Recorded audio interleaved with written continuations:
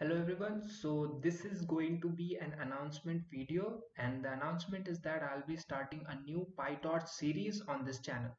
So the reason for starting this series is firstly obviously if someone wants to learn PyTorch. So this is going to be a very good starting point. The second and one of the most important reason is that I'll be implementing a lot of projects as we you know progress with this series and stuff. So I would really want to want you to go through these lectures so that once I'm using some function or some concept, you already know where to go to if you do not understand that concept. Okay, so all those videos will be uh, the prerequisites will be in, covered in this particular course.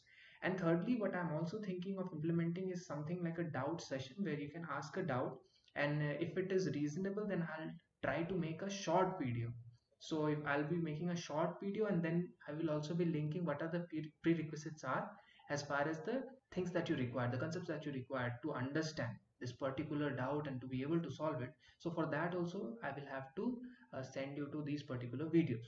So you can ask your doubts you can ask all those things and it can be covered uh, on the particular channel itself on this particular channel itself. And you can just you know refer to these kind of videos if you still have uh, you know some prerequisites that are not being met.